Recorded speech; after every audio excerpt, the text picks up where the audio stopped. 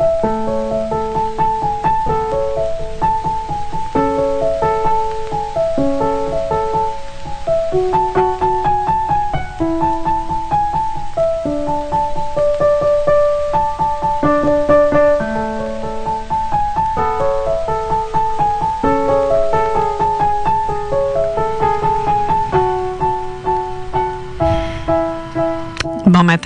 messieurs. Ici Diane Gagnon. Vous êtes à CJMD 96.9. Nous sommes à Porteur d'Espoir en ce beau mardi 13 mars.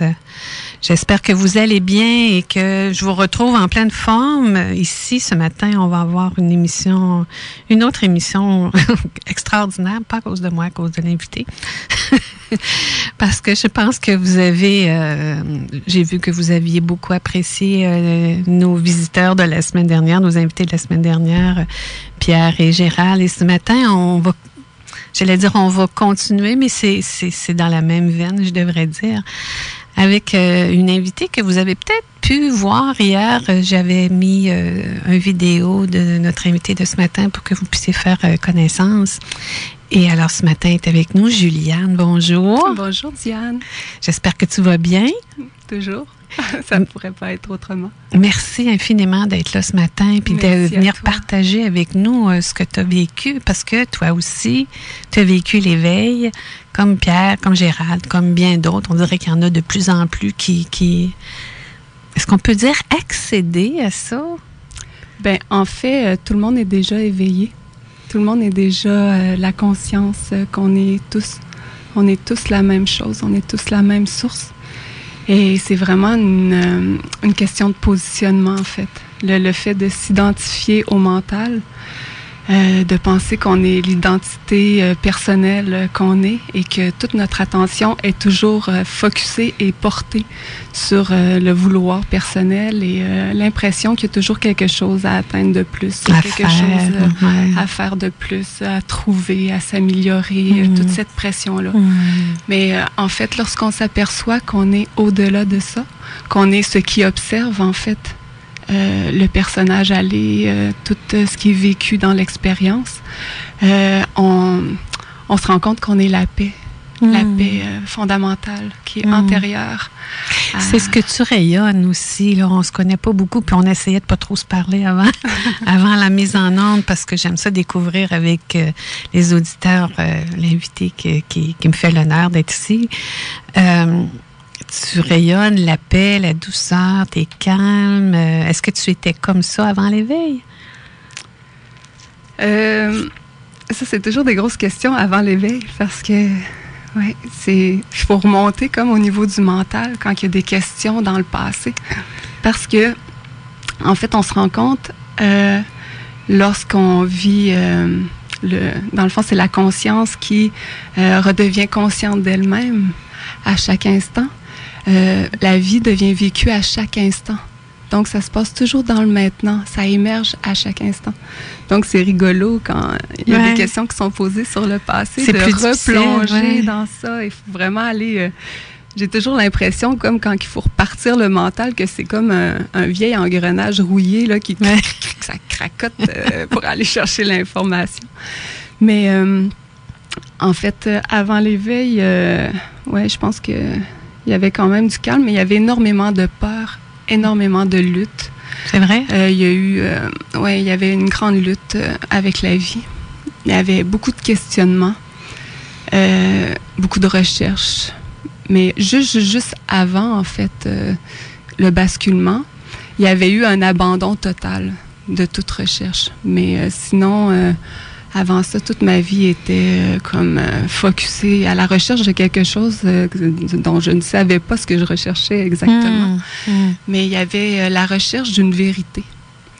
Parle-nous un peu de toi. je pense qu'on va y aller dans, un certain ordre, juste pour voir d'où tu viens. Puis, tu sais, parce que comme ça c'est accessible à tous, comme on est tous ça, cette conscience-là. On est tous ça maintenant. Ton chemin n'est pas et pas hors du commun. Là. Tu sais, je pense que la vie que tu as menée jusqu'à récemment, ça pourrait être la vie de, de peu tout le monde. Là, tu sais. Tout à fait. Tu es née ici à Québec? Euh, oui, je suis née à l'ancienne Lorette. OK. J'ai grandi une partie en Beauce pendant trois ans, mais la majorité de mon, mon adolescence, de mon enfance, je l'ai passée à Saint-Étienne-de-Lauzon. OK. Oui, et euh, j'étais allée euh, à l'école à Saint-Agapi. Est-ce qu'à ce, moment-là, euh, à l'adolescence, on se pose toujours plein de questions ou même quand on est enfant, des fois, on se sent différent des autres? Est-ce que tu avais cette impression-là? Il y avait vraiment, en fait, une incompréhension avec la vie parce que, en fait, j'ai gardé deux souvenirs d'avant l'incarnation ou ce, ce qui paraît l'incarnation, en fait. Et euh, Qu'est-ce que fait, dans les souvenirs euh, que j'ai, dans le premier souvenir, c'est lorsqu'on on décède et euh, on monte, on a l'impression de monter, il y a vraiment une impression, mais c'est c'est juste des changements vibratoires en fait. Et en fait, on est accueilli comme par des, des boules d'âme. On est une boule d'âme, mais encore là, lorsqu'on passe dans l'au-delà, on amène avec nous notre système de croyance en fait. Donc, si on est hmm. identifié au corps, en fait, on amène l'aspect du corps avec nous. Et c'est pour ça qu'on retrouve les personnes qui, euh, avec lesquelles, oui, qui, avec lesquelles on a grandi, qui étaient dans notre cercle. Euh, très près parce que en fait ils font partie du cercle de croyances euh, qu'on nourrit si tu veux donc c'est ça lorsqu'on passe de l'autre côté entre guillemets euh, on retrouve ces gens-là.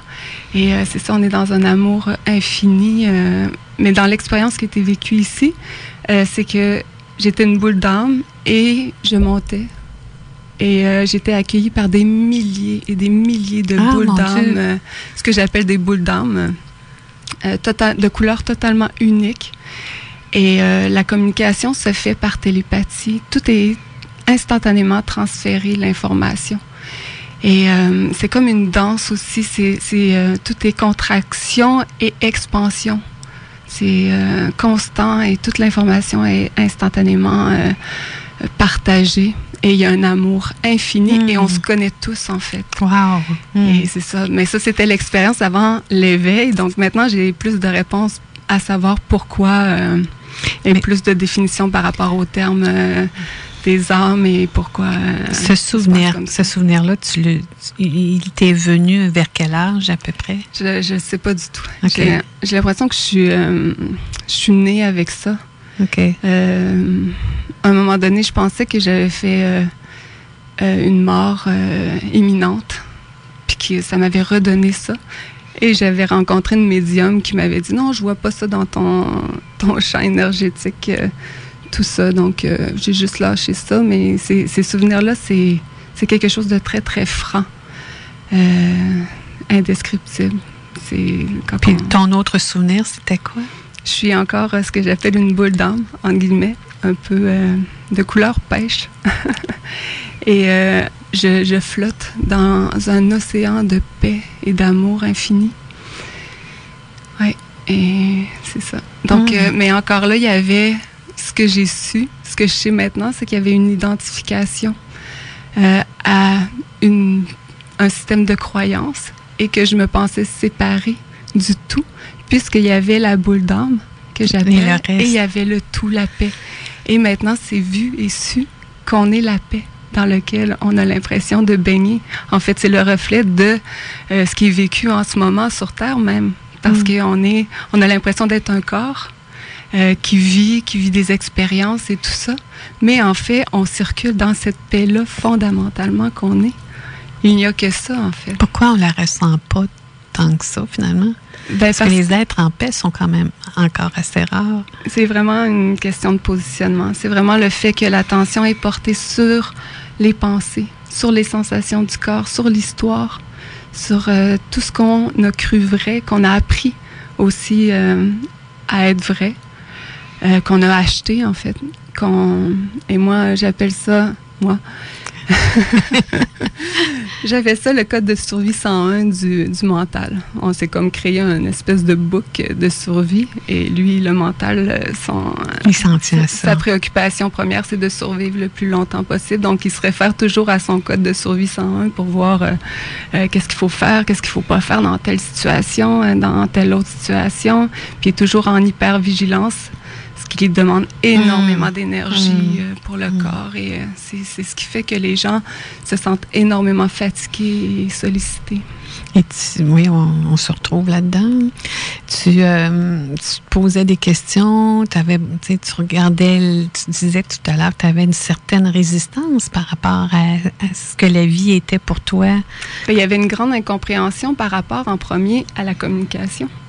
Il y avait le souvenir de, de communication télépathique. Et là, euh, arrivé sur Terre, il faut apprendre à parler, il faut apprendre à À décoder. euh, qu'est-ce qu'on veut dire, euh, trouver les bons mots pour euh, traduire euh, ce qui euh, ce qui va être exprimé. Il faut aussi euh, faire affaire avec euh, l'histoire de l'autre. Choisir, on a l'impression qu'il faut choisir les bons mots pour euh, satisfaire l'autre, euh, pour pas que le décevoir, parce qu'on va être Mm. aimé. Il y a tout un, un espèce d'engrenage euh, assez difficile à gérer. euh, Ouais. Mm. euh, donc tout ça était, était vraiment euh, complexe pour moi euh, et vraiment de parler, de communiquer était extrêmement difficile vrai? et Ah oui? pénible. Ah Ouais. oui, c'est vrai. Ouais. Mm. C'est pour ça que je me suis réfugiée beaucoup avec les animaux. Ah, Ouais. Donc pour moi, les animaux étaient... euh, Tu as étudié pour être. Tu, répète-moi ce que tu as fait là, au niveau des études, parce que tu as étudié plein, plein, plein de choses. Euh, oui. Euh, au niveau des études, euh, ben, en fait, au niveau de mon cheminement scolaire comme tel, ben, je suis allée au cégep. J'ai fait un DEC en art visuel. Et après, j'ai fait des cours en sciences pour pouvoir entrer en agronomie à l'université. Et ensuite, on est parti, je suis tombée enceinte de mon deuxième enfant. Et on est parti vivre en France, donc j'ai pas terminé euh, à ce niveau-là. Mais euh, c'est ça, la naissance de mon deuxième enfant, euh, ça a été difficile et ça a pris beaucoup d'énergie et je me suis mise à faire des crises d'anxiété extrêmes. En fait, je pouvais même plus sortir de la maison. Je, je pouvais plus euh, aller à l'épicerie. Parfois, j'allais à l'épicerie puis euh, je laissais tout mon, mon cadet là puis je repartais chez Hmm. moi parce que Hmm. j'avais toujours l'impression de mourir. Ouais. Mais euh, maintenant, euh, je sais qu'en fait, c'est euh, l'identité de- du personnage qui est en train de, de lâcher tranquillement Ah oui, c'est ça. et de mourir. Les Et, crises d'anxiété, ce serait ça? Ben, entre autres. Entre autres, euh, il y a beaucoup de gens qui ont l'impression de perdre le contrôle parce qu'il y a comme une expansion de conscience. Quand il y a- dans, le fond, dans le fond, on se retrouve à être le tout, on se retrouve dans cet état-là de paix. C'est vraiment déstabilisant pour le mental qui, euh, qui- perd prise. Donc, il essaie de se rattacher et ça contracte énormément et il y a une lutte automatique qui se fait euh, pour plusieurs pour euh, essayer de garder le contrôle, euh, re- revenir dans les sensations euh, connues. Comment tu dirais que tu as surmonté ça, cette période où tu étais anxieuse euh, puis tu avais des attaques de panique? Ben c'est là justement, tu sais, il n'y a rien qui arrive pour rien, tout est merveilleux et la vie s'enseigne continuellement à elle-même. Et euh, en fait, ça m'a amené euh, à découvrir toutes les médecines alternatives et euh, les médecines douces et toutes. euh, ça. Donc, je me suis mis à explorer et ça aussi, la souffrance que ça fait, c'est ça ramène à soi. Donc, on, va chercher des outils, on cherche. ça reconnecte à ce qu'on veut vraiment. ça nous pousse vers nous, euh, dans le fond, vers le cœur, la porte Mm. du cœur, qui est au-delà du mental, pour euh, savoir euh, qu'est-ce qui vibre vraiment ici et maintenant. Où est-ce que je peux aller? Où est-ce que je me suis oubliée? Où est-ce que je me suis perdue? Quelle est ma propre vérité?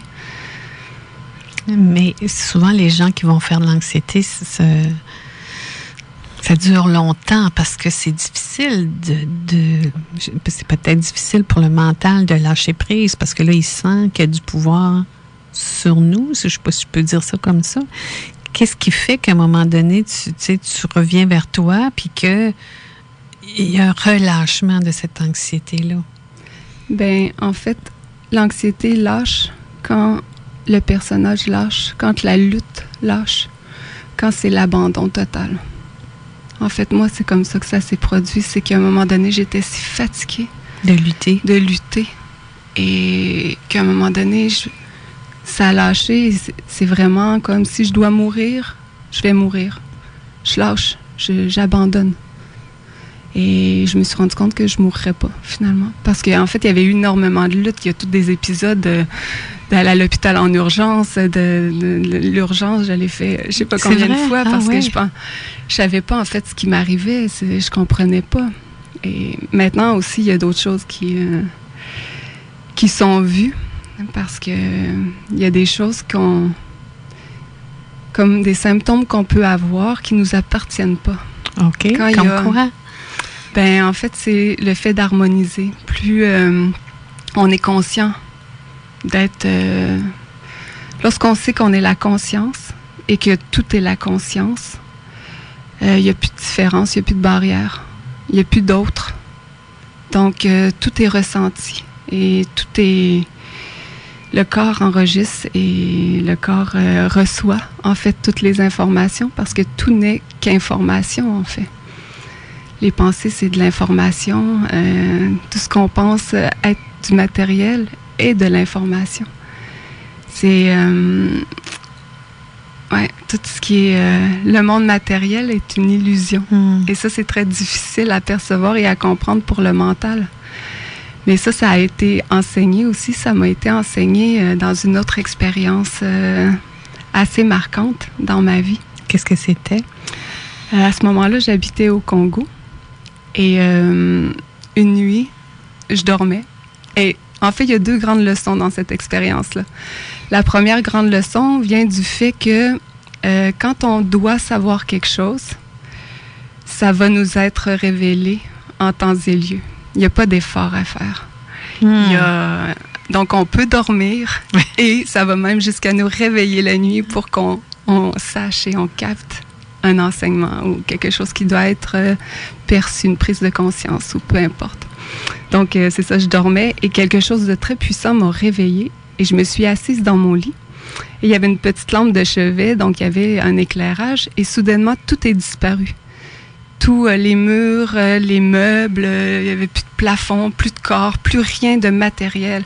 Il n'y avait que des petites particules. Et j'étais soudainement dans toutes les particules de l'univers en même temps. Wow.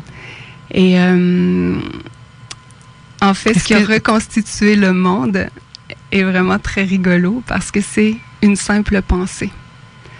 Et une pensée très banale, en fait. C'est la pensée était euh, je n'ai pas le temps en ce moment. Oh mon Dieu! Parce que, mais juste pour dire comment que les pensées apparaissent, en fait, et dans le fond, ne nous appartiennent pas. Elles, elles apparaissent spontanément euh, du, du, néant, parce que là, j'étais complètement le néant au complet, et soudainement, une simple pensée a reconstitué tout le monde.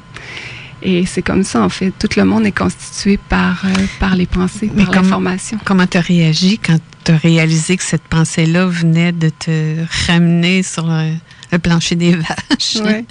Mais à ce moment-là, j'ai vraiment pas euh, percuté l'importance de, ce qui venait de se passer parce que justement, on était dans un mouvement de déménagement. On repartait du Congo pour euh, revenir ici au Canada.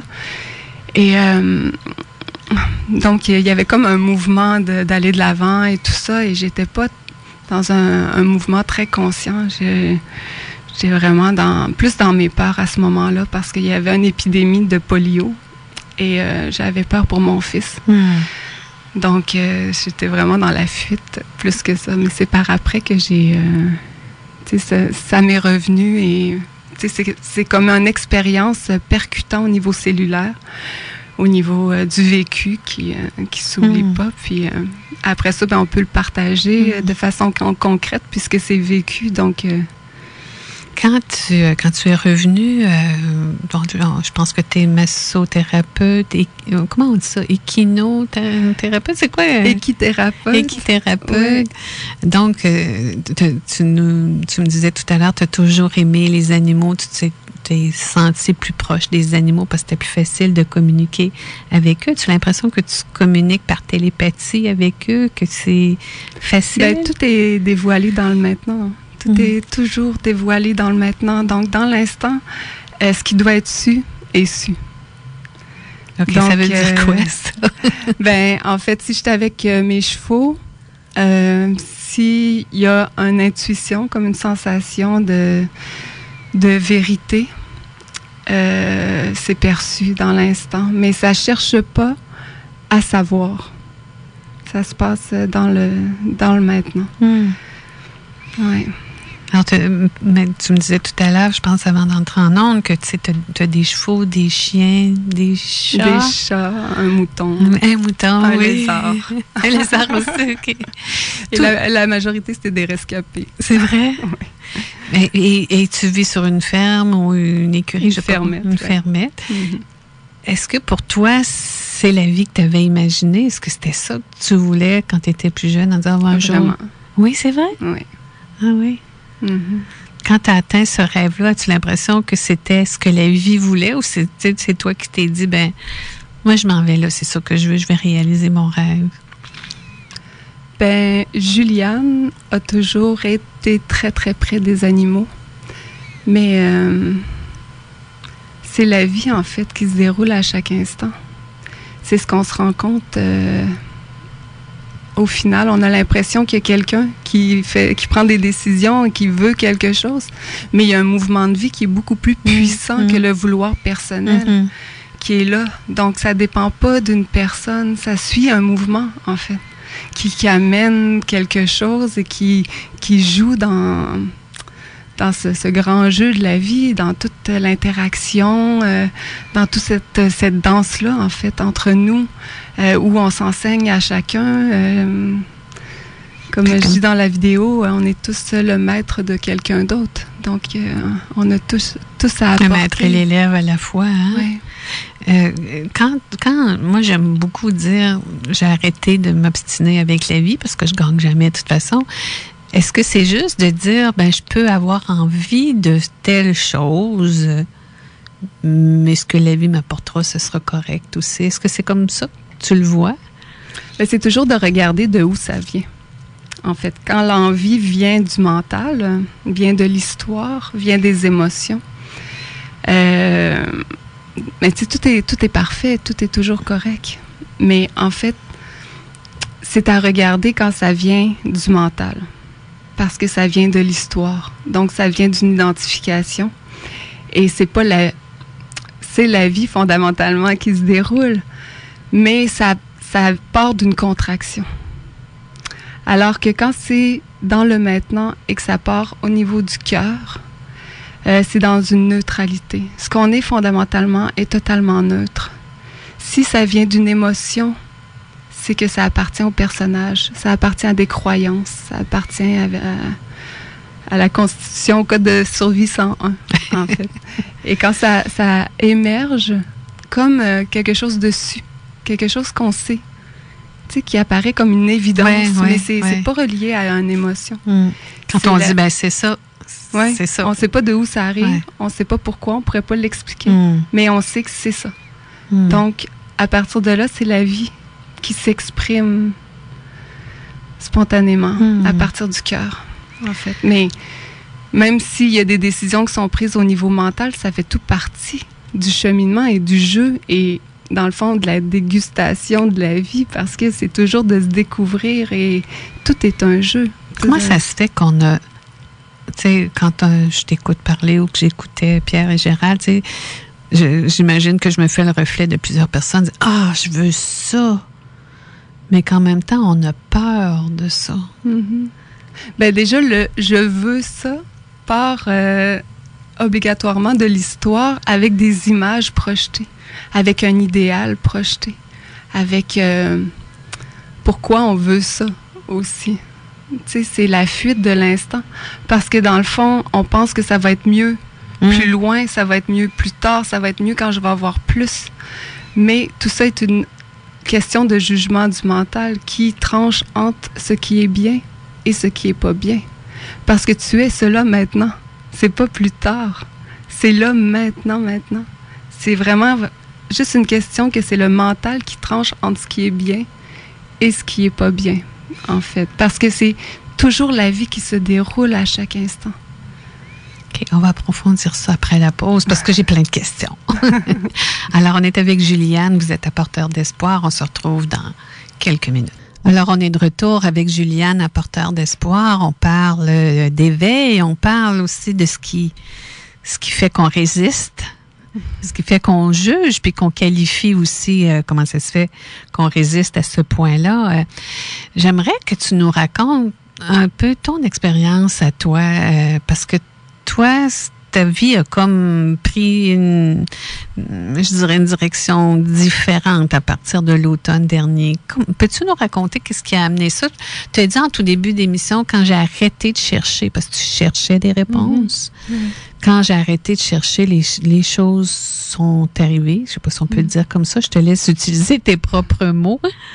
En fait, c'est très drôle parce que euh, c'est vraiment un concours de circonstances. euh, dans toutes mes recherches, en fait, j'ai rencontré un maître spirituel et euh, j'avais vécu ce qui a.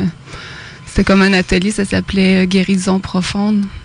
Et j'ai vécu un profond traumatisme, en fait Ah à ce moment-là parce que pour moi, j'avais, euh, ouais, je me suis fait heurter euh, très très sévèrement. C'est vrai? Oui, mais euh, vu que la vie est parfaite et que tout est merveilleux, ça m'a propulsé dans un espace euh, d'écœurantite aiguë, en fait. Puis euh, euh, ça a fait en sorte que je cesse les recherches et que je me retourne vers moi et que, en fait, euh, je profite de ma vie d'ermite avec mes animaux beaucoup euh, et dans le silence beaucoup. Et euh, à un moment donné, il y a eu l'appel pour aller à un atelier de Nasrine. Et une Oui. conférence de Nasrine que On vous avez reçu. reçue. On le elle revient le 10 avril ici. Oui, Ouais. oui. Et euh, en fait, ça m'a permis de rencontrer Isabelle. qui Ah, euh, Isabelle coordonnatrice. Lassière, oui. tout à fait. Euh, donc, c'est ça. Après cette, euh, cet atelier-là, j'avais invité Isabelle et Nasrine euh, parce que ma maison euh, est tout près de l'autoroute 20. Donc, euh, euh, dit si vous voulez venir voir les chevaux, euh, ça va me faire plaisir. Ouais. Donc, ils sont arrivés à arrêter à la maison. Et euh, en fait, il y a un lien qui s'est créé avec Isabelle. Et ce lien-là a fait en sorte que Gérald et Pierre viennent habiter chez moi quand sont venus à l'automne. Ah oui. Ouais.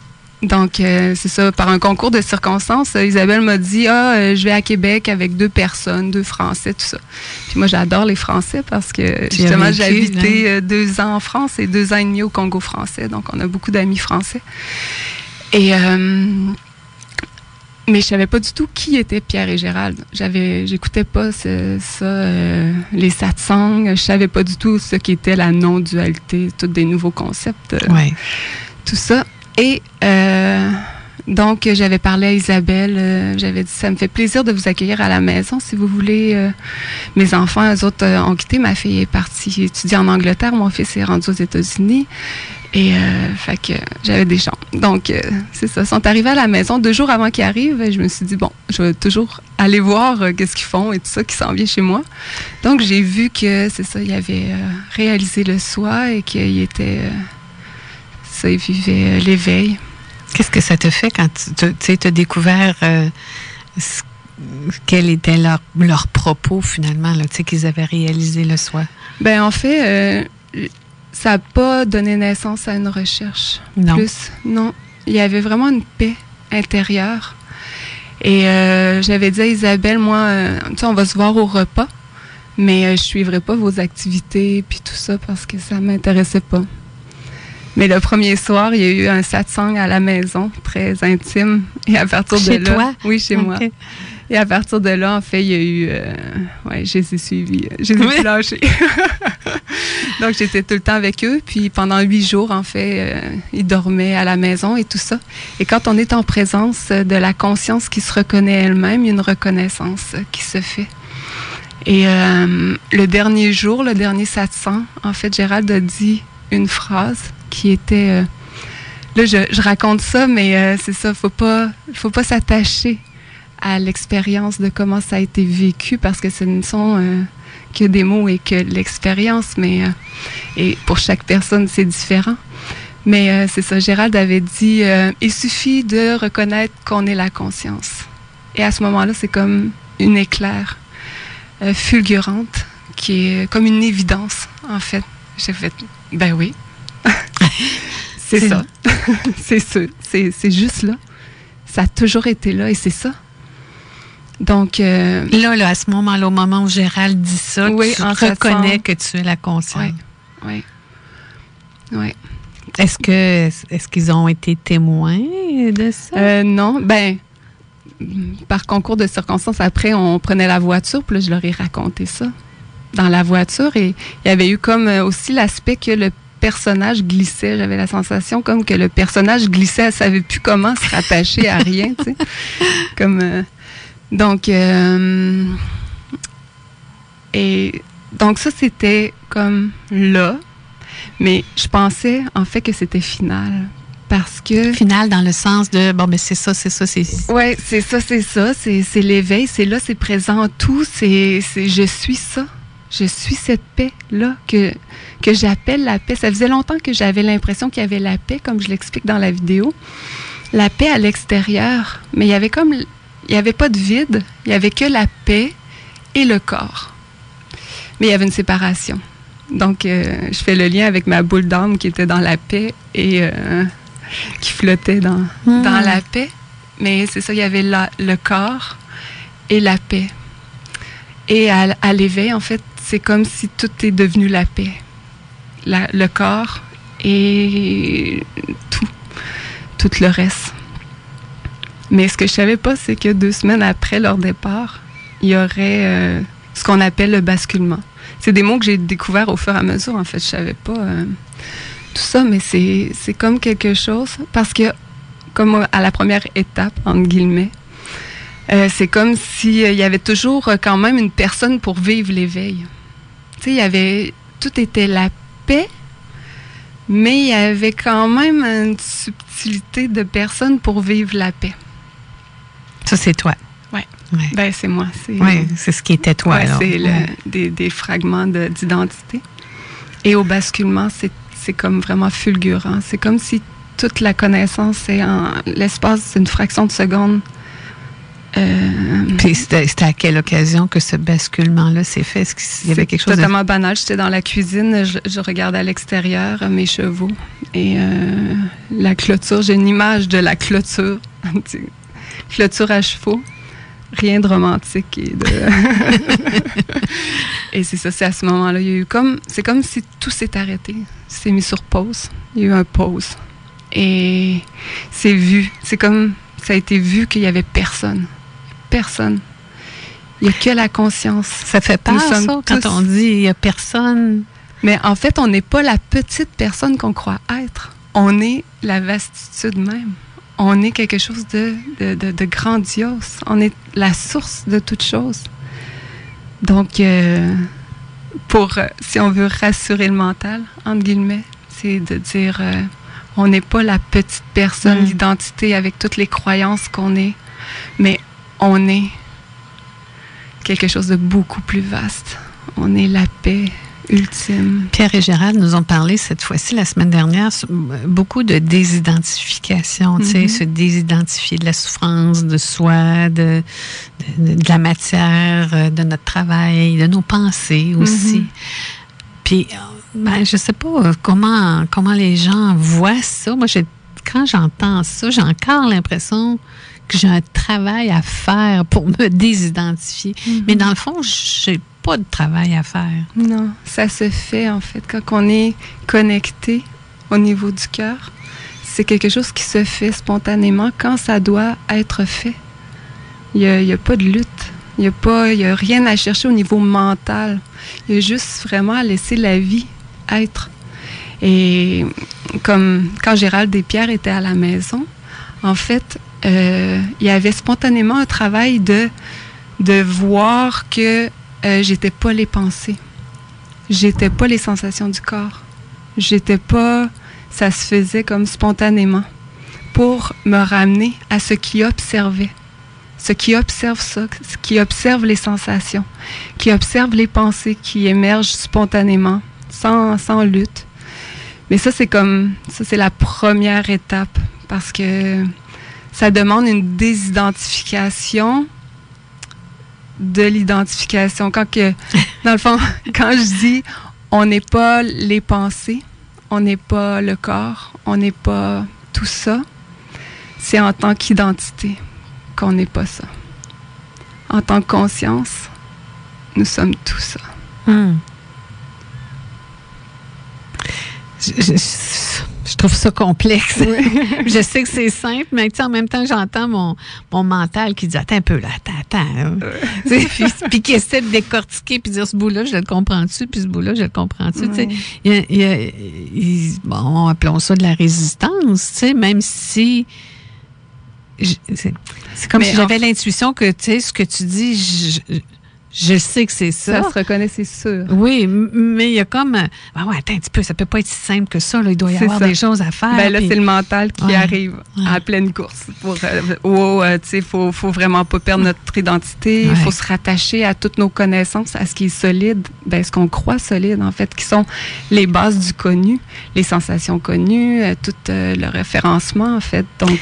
Mais j'imagine aussi, puis peut-être que ça crée une résistance accrue pour le mental. J'imagine qu'une fois que tu te sens ou que tu es réalisé, je devrais dire. Euh, mais il n'y a personne pour être réalisé. Dans le fond, la réalisation, c'est réaliser qu'il n'y a personne à réaliser. bon, mettons rendu là. tu ne dois plus avoir envie de continuer ta vie, tu sais, je sais pas si tu faisais un travail qui te plaisait plus ou moins, ou si tu étais dans une relation plus ou moins satisfaisante, ou tu vis dans un environnement qui te correspond pas, tu sais, tu dois juste, j'imagine, mais là, c'est en fait une question, tu sais, avoir envie de dire, ah, ça c'est plus dans ça que j'ai envie d'être, j'ai envie d'être, tu sais, de rester la paix, de rester l'amour, d'être dans ce qui me convient le mieux. Mais en fait, la vie n'est pas quelque chose de personnel. Donc, peu importe ce qui se déroule dans l'expérience ne fait aucune différence, puisque nous sommes la paix fondamentale, qui est antérieure à toute expérience, à toute expérimentation. Nous sommes la vie même qui se déroule à chaque instant. Donc, ça se fait. S'il y a quelque chose qui doit se faire, ça ne part pas d'une décision personnelle, d'un vouloir personnel. Mm. Ça, ça se fait s'il y a une, je sais pas, une relation qui est disharmonieuse. Euh, c'est juste qu'il va y avoir un mouvement de partir. Il va y avoir un mouvement. Euh, simplement, ça va se faire sans lutte, sans déchirement, sans tout l'aspect mental qui, euh, qui, qui, veut savoir le comment, du pourquoi, du c'est ça. ça me fait penser, c'est un, exemple peut-être que je ramène souvent, mais je trouve que ça, nous permet d'être dans le concret, si je peux dire. ma maison est, est, à vendre depuis euh, plusieurs mois. Je viens de redécider de la remettre en vente récemment. Puis quelque part au fond de moi, je me dis, ben, si la vie décide que ça doit être vendu, ce sera vendu. Puis si la vie décide que je dois continuer à vivre ici, je vais continuer à vivre ici. Puis tu sais, je suis pas dans un sentiment d'urgence non plus. Je suis pas, mm-hmm. je, je vends pas parce que je suis mal pris. Je, vends parce que je sens que mon temps là est complété. Mais de toute évidence, ça l'est pas. Puis juste dans le dire, le fait de dire ma maison. Ah oui s'approprier sa maison. Il y a vraiment une identification, il y, a, une appartenance, un attachement à ma maison. Ce que tu me dis, c'est que euh, tous les attachements devraient être revus finalement? Ben, tout est parfait en fait. Il n'y a pas de lutte avec les attachements, c'est juste de les voir comme tels. De, ça, ça se dévoile. Et les attachements, euh, c'est ça, c'est c'est de l'information, c'est des textures. Quand, euh, quand on enlève toutes les étiquettes que le, mental pose sur euh, mon, ma, mes, euh, qui font partie du champ de, de, de, de, stabilité, le champ, dans le fond, de, ça crée quelque chose de rassurant pour le mental. C'est ça l'attachement. C'est juste. Euh, Est-ce que tu considères le mental comme un ennemi à l'éveil, à, la paix, à la joie, à la sérénité profonde? C'est sûrement pas un ennemi parce que fondamentalement, euh, tout est la conscience. Le mental aussi? Oui. Euh, en tant qu'identité, on n'est pas le mental. Parce que le mental, dans le fond, s'approprie un rôle qu'il n'a pas il, prend le rôle de chef d'orchestre. Il pense que c'est à lui de gérer euh, toute la sécurité, euh, de, gérer tout ce qui... Euh, ce qui peut être dangereux pour le corps, qui peut être... Et dans le fond, le mental est un outil bénéfique. C'est ce qui fait que ça nous permet de, de communiquer ici dans le relatif. ça permet de, planifier des choses. C'est un outil, mais c'est pas ce qu'on est. On lui a attribué un rôle qui qui est pas en fait. On n'est pas le mental. Puis pourtant, hein, on, croit qu'on est celui qui pense, celui qui décide, celui qui agit, celui qui a mal, celui qui rit. Euh. Mais si tu observes bien, il y a quelque chose qui peut observer ça, qui observe les pensées, hmm. qui observe le bruit du mental, qui observe les mécanismes. Quelque chose qui est la source, en fait, de toute manifestation. Est-ce que tu crois que dans notre vie de fou, où euh, la majorité d'entre nous courons comme des poules pas de tête, là, où on, on, on, a des listes de choses à faire, même le week-end, où on est tout le temps sollicité par plein de choses, est-ce que tu crois que tout ça nous éloigne? Je, comprends que ce sont des expériences là, que, la conscience doit vivre, mais as-tu l'impression que ça nous éloigne de cet éveil-là à la conscience? En fait, ça peut nous rapprocher. OK. Parce que toute cette accélération-là, en fait, c'est toujours comme l'accélération de l'information, puisque tout est information. Donc, euh, quand ça va trop vite et que on va trouver. C'est une façon de nous ramener à ce qui n'a pas d'allure, dans le fond, pour nous, ce qui fait pas de sens pour nous. Et ça va nous forcer à, à se retourner et voir où est-ce que ça fait du sens pour moi. Où est-ce que je peux retrouver la paix? Hmm. Où est-ce que à quel endroit il n'y a pas de, de souffrance? Hmm. À quel endroit? Tu vois, pour parler de, de, mon histoire à moi, là, très courte, là, ce rythme de vie-là, comment je dirais, c'est comme si ça suffit, cette course-là, ça suffit. Puis je, je, en anglais, on dirait I'm craving, tu sais, je sais pas comment le traduire en français. J'ai tellement besoin de paix, de calme, de silence, de m'arrêter, de rentrer chez moi, de fermer la porte, puis de mm. juste n'avoir rien à faire, ce qui arrive à peu près jamais. Mais ce besoin-là est grandissant. Là. Puis tu sais, j'ai faim de ça. Là. Mm-hmm. C'est mm. magnifique. Oui, ben peut-être, mais mais tout est magnifique. Ouais, mais tu comprends que cette faim là qui n'est pas euh, rassasiée en ce moment crée encore un, je dirais pas de la souffrance parce que c'est un, trop grand mot là, mais tu sais un, un, inconfort, dire non mais quand est-ce que je vais comprendre puis que je vais m'accorder ces moments de paix là dont, dont j'ai tellement, en tout cas, dont j'ai l'impression d'avoir tellement besoin. Et ça met juste les choses en perspective. Ça met juste en relief. L'inconfort, ben, ce qui est jugé inconfort mm-hmm. par le mental versus un endroit de paix fondamental qui, qui se reconnaît, surtout euh, si tu es en contact avec des gens euh, qui, qui, en fait, qui savent qui, qui sont la conscience, que c'est la conscience qui se reconnaît elle-même. Ben, je trouve que la vie a le sens de l'humour parce que tellement, elle m'amène des invités comme toi, comme Pierre et Gérald, comme Nasrine Mieto. Tu, tu dis, oh boy! Mais en fait, hein? c'est un film d'humour en permanence. Moi, j'ai l'impression de vivre un film d'humour en permanence. Je trouve tellement que la vie est rigolote. C'est vrai, hein? Ah, tellement, tellement.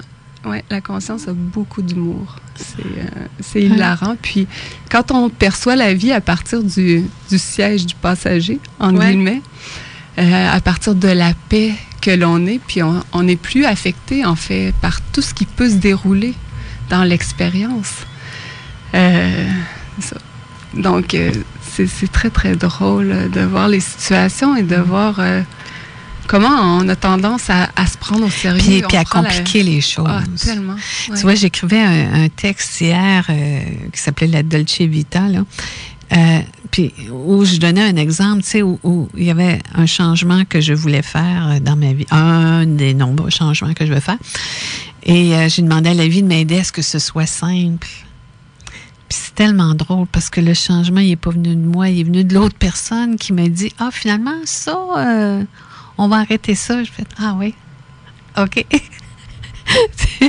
je me disais, je me mettais à sa place, je me disais, mon Dieu, cette personne-là doit tellement penser que je réagis pas. Puis en fait, en, dedans de moi, ça, souriait, c'était plein de soleil, tu sais, c'était yes! Mais en fait, il n'y a pas d'autre hein, que hmm. nous. Donc, euh, l'autre est toujours le reflet de nous-mêmes. Et... Ça, ça dérange hein, quand on dit ça. Hein. Oui, beaucoup. Parce que quand on n'aime pas quelque chose de l'autre, puis qu'on sait que ça fait partie de nous, c'est, c'est difficile de faire comprendre ça aussi aux gens. Puis souvent, les gens euh, vont dire, tu sais, s'ils jugent, mettons, quelqu'un qui ment, ils vont dire, ben moi, euh, pour moi, c'est important, la vérité. Je comprends pas quand tu me dis ça.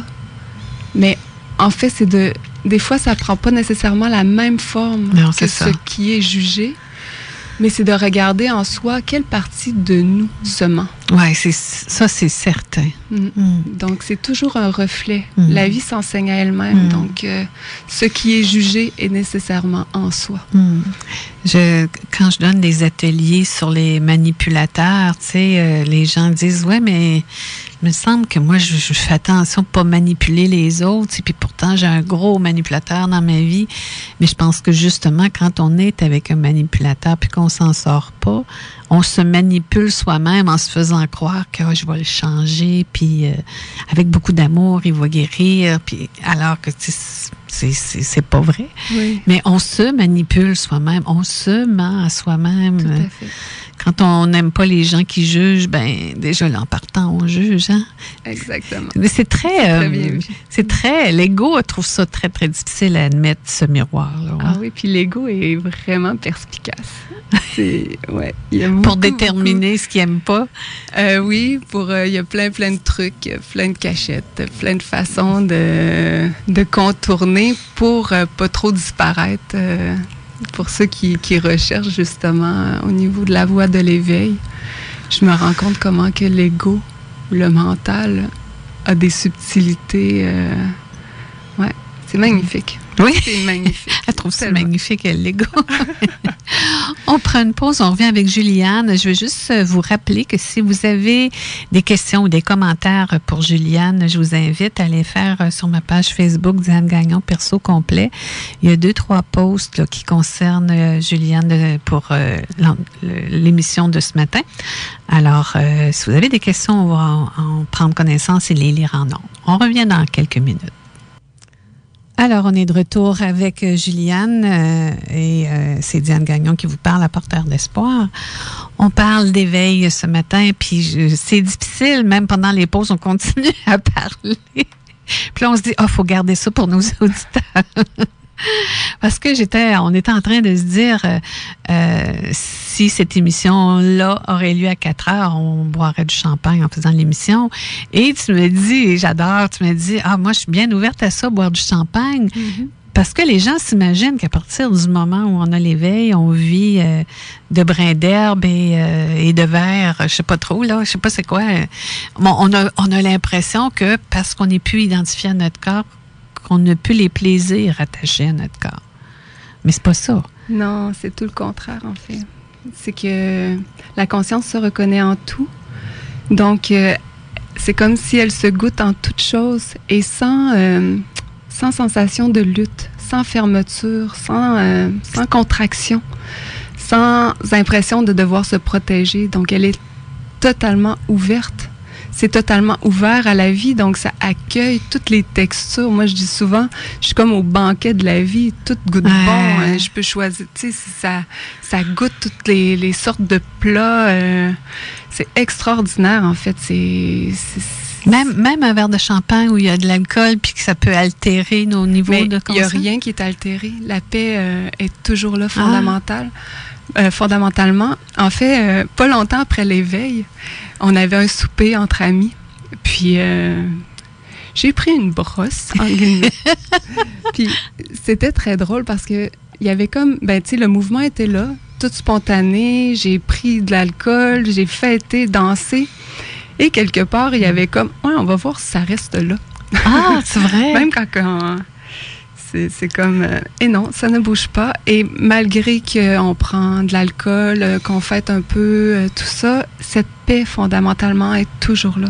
Ça ne change en rien, en fait. C'est Peu importe l'expérience, c'est toujours là. même s'il y a un mal de tête le lendemain, la paix fondamentale est toujours là. Et ouais. Mais c'est pas quelque chose que on, on souhaite reproduire euh, à chaque fin de semaine parce qu'il y a aussi le fait récupération. que oui le fait que on se reconnaît en toute chose euh, c'est l'amour avec un grand A en fait et on, vraiment le mouvement de prendre soin est spontané. Prendre soin de prendre soin de notre corps. Ah, comme on prendrait soin d'un chien comme on prend soin des arbres comme on prend soin de la vie. Hmm. Donc, euh, on ne veut pas faire subir à notre corps euh, hmm. des, affres qui, sont douloureuses ou qui, sont perçues comme... Euh, on, lui apporte des choses qui, qui le rendent bien, avec amour. Tu vois, ma, mon sujet préféré, je dirais, c'est l'estime de soi. Oui. Comment on concilie l'estime de soi avec l'éveil? Dans le sens où, euh, on a l'impression qu'on doit, euh, qu'on doit travailler, apprendre à s'aimer davantage, parce que tu viens d'utiliser un mot, une expression que j'aime beaucoup, c'est prendre soin de soi, se traiter comme on traiterait notre enfant, avec beaucoup d'amour, beaucoup de respect, beaucoup de douceur. Puis ce qu'on fait pas quand on oublie ça aussi, puis s'accorder des moments à soi puis en même temps, mais ça nous permet, je pense, de mieux vivre là, personnellement. Comment on... Est-ce que l'estime de soi a une influence sur l'éveil ou est-ce que l'éveil a une influence sur l'estime de soi? En fait, l'estime de soi part d'une personne. Part euh, du fait qu'on pense qu'on est une personne à améliorer. On veut une version améliorée. Ah, ça, je suis plus capable d'entendre ça. on veut une version améliorée de, de la personne. Et euh, en fait, c'est lorsqu'on se détache totalement que ça peut émerger spontanément. Il n'y a pas d'estime de soi. Euh, l'estime de soi met en relief le non-estime de soi. Et c'est c'est comme quelque chose qui doit être vu et perçu. Et c'est juste d'observer ce qui est là à chaque instant, sans mettre d'étiquette. C'est, que le mental qui, met, qui pose des étiquettes sur le manque d'estime de soi, le manque de confiance en soi, le manque ce qui est juste une lutte à la vie, en fait. Parce que ce qu'on est fondamentalement cherche à émerger à chaque instant, spontanément. Et c'est juste toutes nos croyances, nos peurs, euh, nos conditionnements qui viennent comme filtrer ça. Et c'est cette lutte-là entre ce qui veut spontanément émerger, euh, toute euh, la grandiosité, si je peux dire, de, de la vie, ouais. toute la spontanéité et tout ce qu'on a appris, ce qu'on devait faire, ce qu'on devait pas faire, ce qui devait être, qui vient contrer ça. Donc, euh, c'est ça, c'est cette lutte-là, en fait. Et l'estime de soi, c'est de euh, voir que les jugements et euh, toutes les limitations qui sont mises sont fausses. Tu es en train de me dire que j'ai plus de sujet de conférence. ça peut être juste un autre. Oui, c'est ça. C'est profond. c'est tout ce que je me disais en même temps. Mais je trouvais la blague bonne. Euh, tu sais, tu dis justement ça, cette, lutte-là. Et pendant la pause, on en discutait, tu sais, à quel point, à un moment donné, ça devient lourd porter tout ça, tu sais, puis avoir l'impression de OK, je vais porter ce fardeau-là aujourd'hui, je vais, je vais, je vais régler ce problème-là, ou je vais euh, euh, OK, faut que je travaille sur moi, OK, faut que j'apprenne ça. Oui, j'ai ce cours-là, je suis inscrit. Euh, tu sais, les sollicitations sont tellement nombreuses, puis je trouve que ce qui vient avec ça, quand ça fait longtemps qu'on fait ça, moi j'ai un rythme de vie de fou depuis 30 ans. Mm-hmm. Ça me prend du temps à apprendre.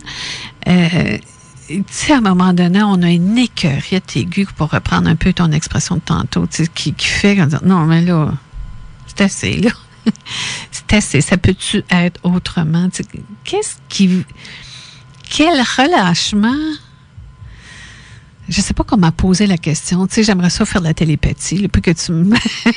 Mais en fait, c'est toujours une question de lutte avec ce qui doit être, avec ce qui est.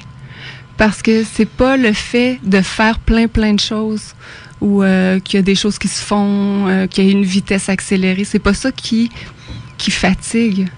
C'est le fait de penser que ça devrait être autrement que ça devrait être plus ralenti, qu'il devrait avoir moins de choses qui soient faites. Euh, c'est vraiment la lutte par rapport à ce qui doit être fait. Et spontanément, s'il y a le mouvement de ralentir le rythme, ça va se faire. C'est vraiment simple en fait parce que c'est toujours dans le maintenant.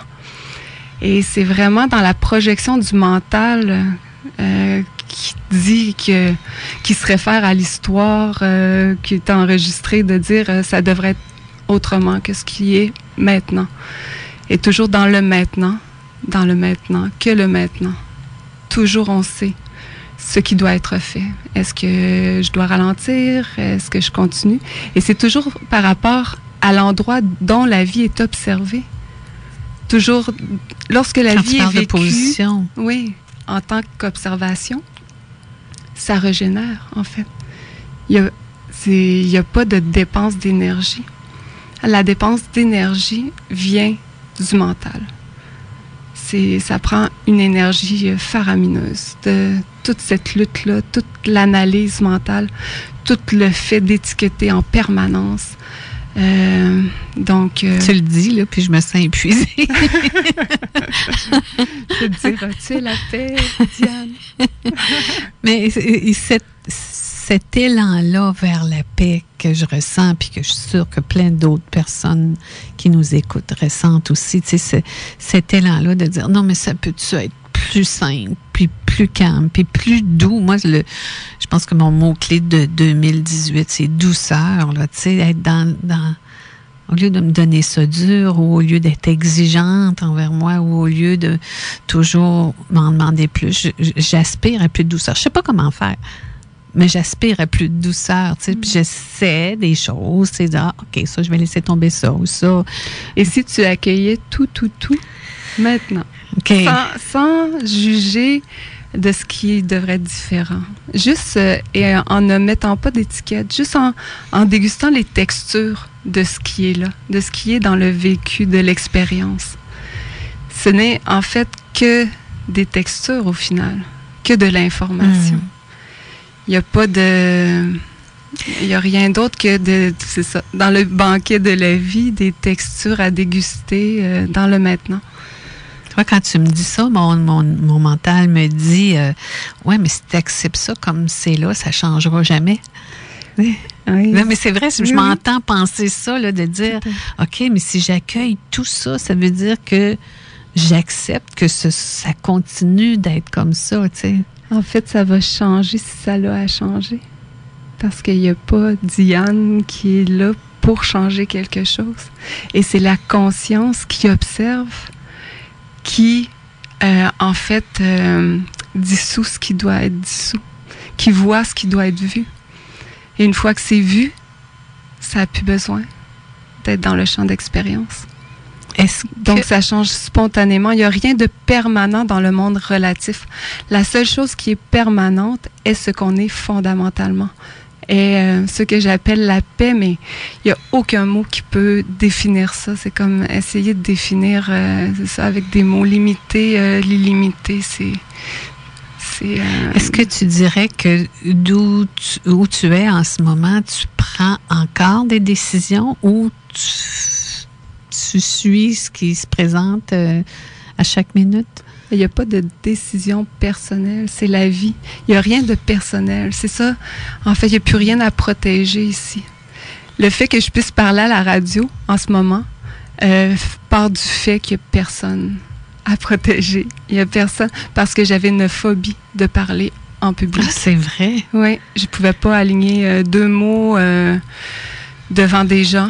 Et là, j'ai fait une conférence dernièrement euh, parce que. Tu en faire plein d'autres aussi. Oui, ça a l'air que c'est à l'horaire, mais encore là, c'est pas une décision de Juliane, en fait, de faire ça. Ça se fait. C'est comme la vie t'a demandé ça, puis t'as dit oui. Ça a, ça a, mis des personnes autour de moi qui font en sorte que, ah, il va, tu sais, peux-tu me faire ça? ça ah, il y a telle date euh, qui serait vraiment propice pour faire ça. Euh, c'est comme la, la vie me met en mouvement.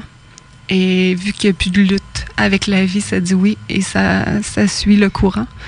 En fait, un mot qui est très à la mode en ce moment, c'est le flow. Oui, go with the flow. Donc, euh, on suit le courant de la vie. Et je pourrais approfondir un petit peu euh, par rapport au courant de la vie parce que, euh, dans le fond, tu me demandais au début de l'émission, dans les formations que j'avais suivies, tout ça, il y a le fait que je suis. il y a une formation en ostéopathie équine. Et il y a une spécialisation en ostéopathie crânienne. Donc, pendant dix ans, j'ai fait de l'ostéopathie crânienne sur des êtres humains. Sur des êtres humains, oui. pas sur des chevaux. Là. Non, sur des êtres humains. Donc, et j'ai découvert, au début, en fait, euh, j'avais appris une technique. Et euh, je plaçais mes mains d'une certaine façon. Il fallait que je réalise la technique. dépendamment des symptômes et tout ça, il fallait que j'aille à tel endroit ou tel endroit, tout ça. Et mes mains ne voulaient pas suivre ce que je voulais faire. Il y avait comme une grande force qui allait comme à contre-courant, en fait. Et j'ai lutté. Au début, je luttais vraiment contre ça. Puis mon chum, euh, mon chum, c'est un ingénieur et euh, oh je lui partageais tout ça. puis là, j'étais comme, ah, tu sais, euh, je veux faire ça, puis ça veut pas, puis mes mains veulent aller ailleurs et tout ça. Et finalement, j'ai fini par lâcher ça. Puis laisser tes mains, laisser tes mains aller. Les mains savent. Les mains, c'est la grande intelligence de la vie, en fait. quand on pose nos mains, le corps se libère lui-même.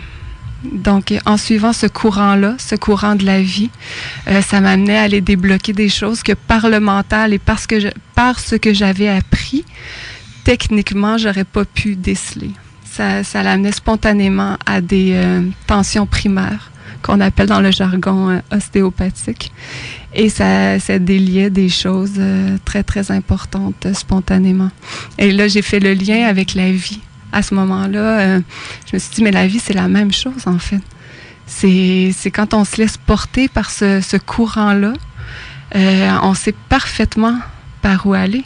C'est le même courant, la même intelligence qui gère notre corps. On n'a pas besoin du mental pour euh, respirer, pour respirer, pour ajuster les battements de notre cœur, la pression sanguine, les échanges entre les cellules et tout ça. Donc, ça se fait. Et la vie, dans le fond, c'est une représentation du corps. C'est tout se fait dans la grande intelligence, les échanges, les, euh, les relations, les. Donc, quand on laisse la vie faire, elle sait parfaitement ce qui doit être fait à hmm. chaque instant. Hmm. Donc, je prends un exemple. Si j'ai une situation dans laquelle je suis pas confortable, peu importe ce que c'est, là, euh, familial, professionnel, euh, social, euh, amoureux, peu importe. Puis que je me dis, mon Dieu, qu'est-ce que je devrais faire? Est-ce que je reste ou je pars? Est-ce que je mets fin ou je continue? Dans le fond, ce que tu me dis. Ouais. Dans le fond, j'ai rien à décider. C'est ça que tu me dis? J'ai juste à être là, observer, accueillir, puis les choses vont se placer d'elles-mêmes. Oui, c'est à se connecter en fait au niveau du cœur. Je l'appelle le, maître cœur. Euh, c'est le plus grand maître pour chacun. C'est, euh, on est le maître. On, est tous le maître. Et cette porte-là se situe au niveau du cœur. Et quand on écoute au niveau du cœur, la réponse spontanée s'y trouve si on veut décortiquer au niveau du mental, on s'en sortira jamais. Et on va essayer de comprendre, puis ça va, on peut même remonter tellement loin dans notre vie du hmm. comment, du pourquoi, du, hmm. mais on est en dehors de ça. Hmm. J'avais, euh, j'avais une cliente récemment euh, à qui je demandais c'est quoi ton objectif en venant faire du coaching avec moi. Tu sais. Elle dit je veux comprendre pourquoi je suis pas heureuse. Là, je me disais c'est drôle, moi j'aurais répondu euh, je veux être heureuse. c'est comment notre mental, il nous mm-hmm. conditionne. On veut comprendre pourquoi on n'est pas bien plutôt que. Puis c'est pas un jugement là, quand je dis ça, parce que je pense qu'il y a quelques années, j'aurais répondu la même chose aussi. Plutôt que de dire je veux être bien, c'était je veux comprendre pourquoi je suis pas bien. c'est le fait de vouloir comprendre, en fait, qui nous maintient dans la souffrance. Mm. parce que ça nous amène euh, nécessairement dans des champs euh, d'attention qu'on est habitué de reproduire et de voir. Et donc, euh, c'est ça. on Donc, cherche la souffrance, on cherche le pourquoi de la souffrance, donc ça, ça nous attire à mettre notre attention sur la souffrance et on vit la souffrance et c'est un cercle vicieux en fait. Hmm. On est mieux de mettre notre attention sur l'observation des oiseaux ou des nuages ou des couchers de soleil. Ça, c'est ma On passion. est mieux là. de mettre l'attention sur ceux qui observent. Sur ceux qui observent. Oui, ceux qui observent la vie. Qu'est-ce qui observe les oiseaux? Qu'est-ce qui observe la vie? J'ai un peu de misère avec ça. Qu'est-ce qui Comment on fait ça, ça? Comment, comment j'observe qui observe le coucher de soleil?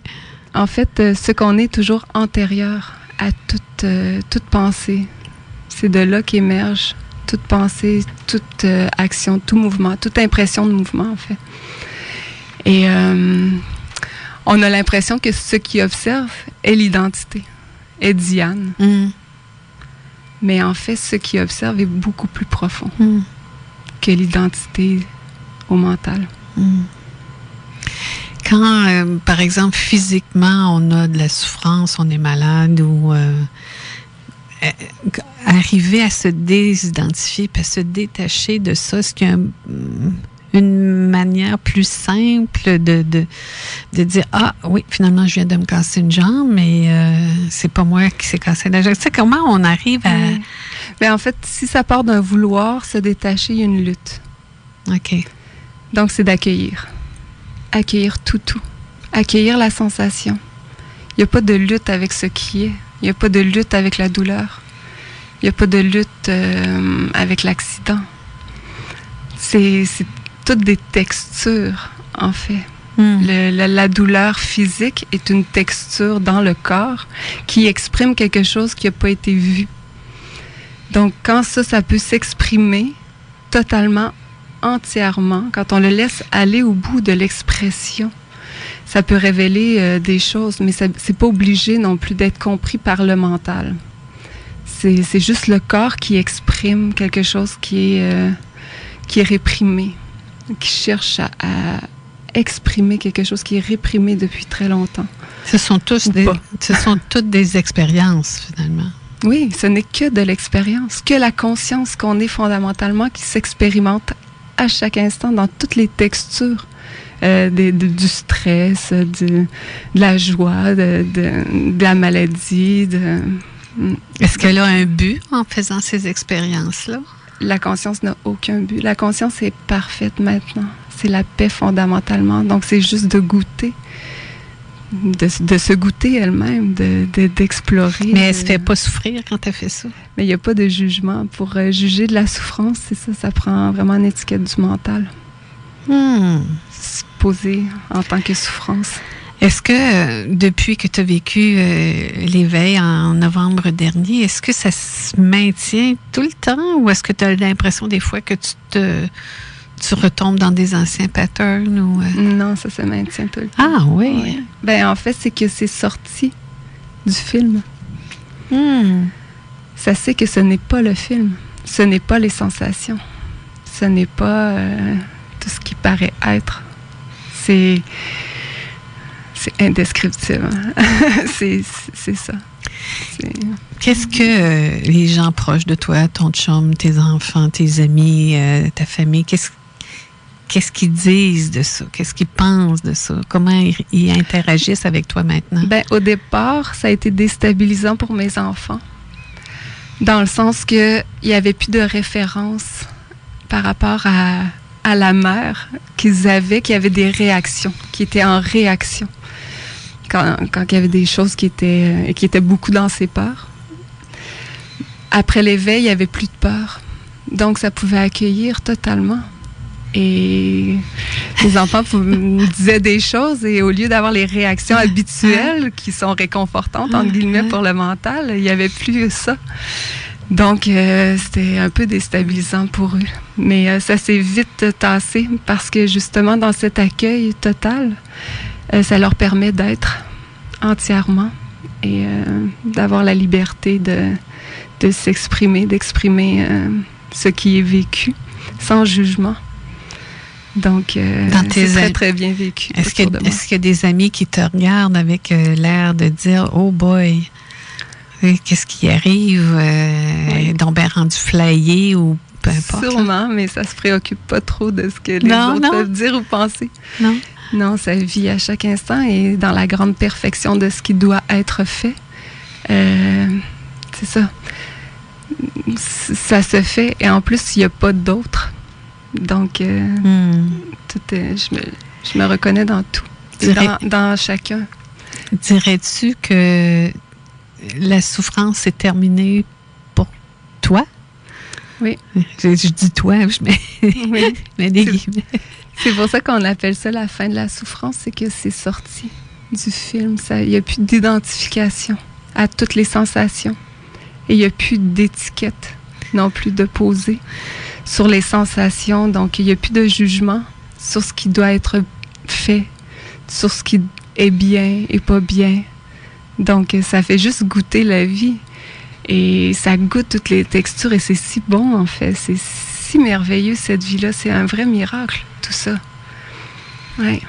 Qu'est-ce qui fait que certaines personnes vont vivre l'éveil là?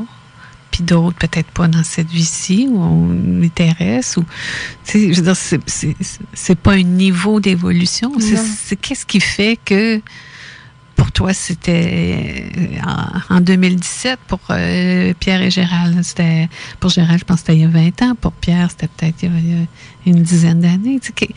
Qu'est-ce qui fait que les gens sont prêts ou pas? Je sais pas si on peut dire ça comme ça. Mais en fait, c'est qu'il n'y a pas de gens. Je ne sortirai pas. en fait, il y a juste la conscience qui s'expérimente elle-même. Donc, ça dépend juste de comment elle, elle, elle, s'expérimente à travers, euh, moi j'appelle ça les fenêtres. C'est comme si euh, les corps, euh, c'est comme différentes fenêtres d'expérimentation. Et d'un côté de la fenêtre, c'est la conscience qui euh, se reconnaît elle-même, qui est consciente d'elle-même. Et de l'autre côté de la fenêtre, c'est la conscience qui s'oublie, qui s'amuse à s'oublier elle-même. Donc, euh, ça. qui s'amuse. Ça, ça, pose aucun souci euh, pour elle, pour la conscience fondamentalement, que euh, la personne soit jugée éveillée ou pas éveillée, parce que vraiment, fondamentalement, tout le monde est éveillé. C'est vraiment une, une illusion de penser euh, qu'on est autre chose que la conscience elle-même, que la paix fondamentale. Oui. Hmm. Cette illusion-là, quand tu, l'expliques comme ça, j'ai tout le temps je sens la résistance en moi, de dire, mm-hmm. voyons, pourquoi, pourquoi je, pourquoi ce serait pas pareil pour moi, pourquoi ce serait pas pareil pour les gens que j'aime, il y, a comme une lutte en disant, moi si, moi si, moi si. Oui. Hein? Toi en tant que Diane. Euh, ouais. Oui. Mais c'est juste en lâchant justement mm. Mm. l'impression euh, que c'est pas parfait maintenant, mm. que ça peut se vivre maintenant. Si tu es la conscience maintenant qui s'expérimente à travers toutes les expériences que tu, fais à chaque moment. Que j'aime en plus. Oui. C'est fou, hein? On fait une autre pause. On revient tout de suite après avec Juliane et vos questions. Alors, on est de retour avec Juliane. Vous êtes apporteur d'espoir. Euh, on a bien des questions, on a bien des commentaires aussi parce que on, veut tous comprendre, mais finalement, il n'y a rien à comprendre. J'aimerais ça savoir de quoi est fait ton quotidien depuis que tu as vécu l'éveil. Est-ce qu'il y a des choses qui ont changé euh, de façon euh, remarquable pour toi? Euh, je dirais que la seule chose qui, a changé, en fait, c'est que la, vie est vécue et non plus pensée. Donc, euh, au quotidien, tout est, semble pareil pour euh, les gens qui m'entourent. Surtout, j'ai des animaux, donc au niveau du corps physique, ça travaille très, très fort. ça fait les box, ça, oui. ça pelte, ça passe la souffleuse, ça... et donc, euh, le quotidien, il n'y a rien de changé. As-tu plus de plaisir dans ton quotidien? Je veux à faire ça? Ben, en fait, c'est qu'il n'y a plus de lutte contre la vie contre ce qui doit être fait. Et tout est fait dans le maintenant. Donc, euh, c'est vraiment selon un élan à chaque instant. Il n'y a plus de concepts mentaux. Il n'y a plus de rattachement euh, mental à, par rapport au temps, justement. Qu'est-ce qui doit être fait dans tant de temps? c'est su que tout est parfait. Donc, ce qui doit être fait, ce qui va être fait, c'est juste parfait. Donc, euh, il n'y a plus d'étiquette mentale non plus sur toute chose. Donc, euh, ça fait juste, ça se reconnaît en chaque chose, constamment. Hmm. C'est comme ça, ça ne fait que reconnaître la paix en chaque chose. Ce que j'appelle la paix, en fait, qui, qui a aucun un mot pour ça, mais si j'observe les arbres, il n'y a pas une étiquette qui, fait, qui met arbre. Là, en ce moment, on parle, donc j'utilise des mots pour parler. Dans mon quotidien, je suis seule et il n'y a aucun mot, aucun... Il n'y a pas de pensée? Il n'y a pas, d'étiquette, il n'y a pas de pensée, ça se vit. C'est comme, c'est comme si il y a vraiment C'est dur à comprendre. Hein? Oui, il y, a vraiment avant, après. Euh, mais c'est parce que la, conscience se reconnaît elle-même et elle sait que c'est faux, en fait, au niveau des pensées, que ça peut être lâché. Donc, elle, ne fait que se reconnaître en toutes choses, à travers les arbres, les animaux, les, c'est dégusté, c'est vécu. Ça se vit à partir du cœur, s'il faut mettre des mots euh, Ouais. Est-ce que tu as encore des émotions, comme par exemple, est-ce que tu pleures? Est-ce que tu euh, euh, souffres? Est-ce que, tu sais, je vois que tu ris, puis que tu es capable de. tu es dans le, plaisir et le moment présent aussi. Est-ce qu'on on pleure quand même? Est-ce que. Euh, il peut avoir. J'ai écouté un film dernièrement et ça a pleuré. Parce que ça se reconnaît et c'est si beau, en fait. C'est ouais, si beau. Donc. Oui, ça peut pleurer, ça peut vivre des émotions, mais il n'y a pas d'appropriement des émotions. Ça ne s'approprie pas. Mettons, euh, la joie, il n'y a plus euh, non plus d'anticipation. Tu sais, ma fille euh, me dit Ah, t'as-tu hâte de, de faire ça? Non, On n'est pas rendu là. maintenant, elle sait, euh, elle dit Ah non, c'est vrai, toi, il n'y a plus de. T'as plus hâte de rien. Mais on rigole beaucoup avec ça. C'est vrai? Ah oui, vraiment. Oui, il y a beaucoup, beaucoup d'humour. Beaucoup d'humour. Ben, tu sais, je le vois quand euh, Pierre et Gérald viennent ici, on, rigole tout le long, là, tu sais, on a du plaisir, puis c'est pas c'est, euh, comment on dit déjà, c'est euh, déstabilisant, mais c'est, c'est dans le, plaisir du moment présent, puis de, jouer avec les concepts, finalement, d'essayer de les comprendre. oui, c'est ça. avec la poésie des mots. Est-ce que tu as des... des euh, pas des objectifs, sûrement pas, là, mais des projections? Est-ce que des fois, tu, te dis, ah, oh, ça serait le fun d'aller en voyage dans le Maine cet été, mettons? Euh, ben, ça se fait, mais plus par, euh, mettons, ma coordonnatrice. C'est Isabelle qui, organise tes qui, qui, a prévu un truc euh, euh cet automne euh, au Mexique. oui, j'ai vu ça, c'est génial. Hein? Et on, on est supposé d'aller en France aussi au début de l'été, probablement à l'automne. mais c'est ça, c'est l'agenda qui se remplit indépendamment d'une volonté. Parce que c'est Ici, c'est comblé, peu importe euh, l'expérience. Donc, euh, je pourrais être en lotus euh, et tout serait parfait. Il n'y aurait aucun souci. Dirais-tu que tu es bien tout le temps? oui, tout le temps. En fait, je suis totalement à la disposition de la vie. Il y a. Il n'y a pas de lutte avec la vie, ça, ça fait que suivre le courant de la vie. Et il n'y a pas. Ça prend une personne pour être bien ou pas bien. Ça prend comme euh, une identité. Ouais. De, mais il n'y a pas ça. Donc, ouais, c'est la, c'est la grâce. Pour employer des mots qui sont utilisés. Euh, c'est drôle, depuis qu'il y a eu l'éveil, il y a comme une, il y a beaucoup de gens qui me parlent de, de, de personnes éveillées que je connaissais pas. Euh, j'ai, j'ai appris à connaître des, des maîtres indiens que je connaissais pas. Je connaissais pas beaucoup de choses, en fait, dans les termes non plus. Et depuis un certain temps, il y a des mots qui apparaissent dans mon Ah ouais, vocabulaire, ah qui sont ouais. nouveaux parce que justement pour euh, vu que ça, on dirait que ça veut parler, qu'il faut utiliser des mots pour expliquer.